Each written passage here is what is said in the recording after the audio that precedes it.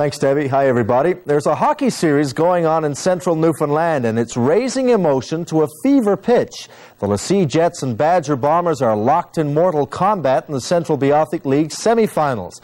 Tensions are running so high that the on-ice rough stuff is sometimes overshadowed by the occasional punch-up in the stands.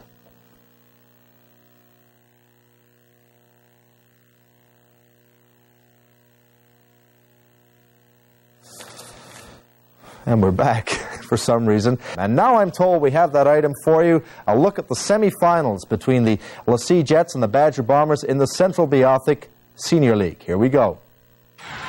Saturday night at Badger Stadium. Once again, ladies and gentlemen, the of the Badger Stadium reminds you that rowdy behavior at the stadium tonight and tomorrow will not be tolerated.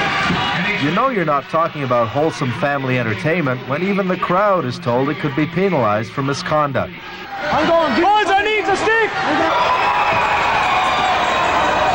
The rivalry between La Scie and Badger is pretty intense.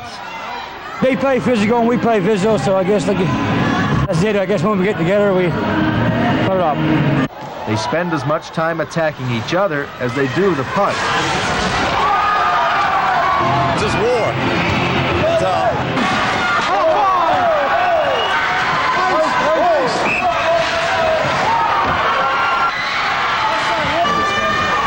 Hard-hitting hockey is the name of this game. Just ask the local ambulance attendant. We get um, a lot of pops, and we get a lot of smacks them out, okay? We get a lot of bruises, and got a dislocated shoulder.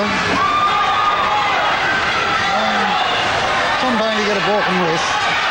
You get pretty good injuries in this in this hockey and the fans eat it up.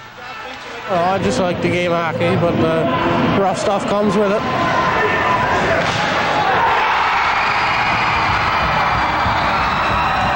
The games do attract lots of fans. Both Badger games this weekend drew capacity crowds. Standing room only, three deep around the boards. This is exciting. I just, I love hockey. I like to watch it. Some fans have been known to do much more than watch, though. The Badger Town Council asked that La Scie not send down too many people to these games in hopes there wouldn't be any fighting in the stands. Last weekend, things got a bit out of hand and fists flew. Fans are disadvantaged to their players. But the weekend's games were relatively sedate affairs. There were lots of penalties on the ice, but no one in the stands was charged.